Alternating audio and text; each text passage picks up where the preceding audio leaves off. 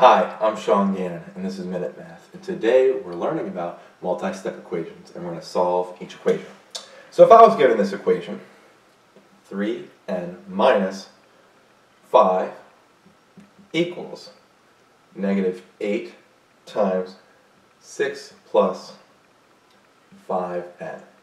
Okay? Well, what I want to do first, okay, first things first, is I want to distribute, right?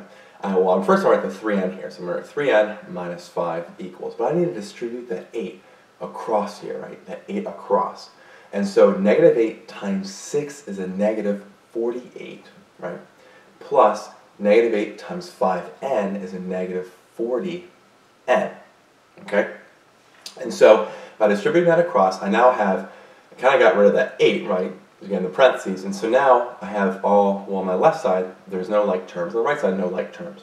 So I now have to combine my like terms. So I'm going to bring the 40n over to the left, plus 40n. And I'm going to add a 5 to the right. Cancels out these 5s, cancel out the 40n's here. So I have 3n plus 40n is 43n equals negative 48 plus 5 is a negative 43. Okay? So now I have 43n equals a negative 43. Well, I'm going to divide by 43 to both sides. Don't fret, it's pretty easy now.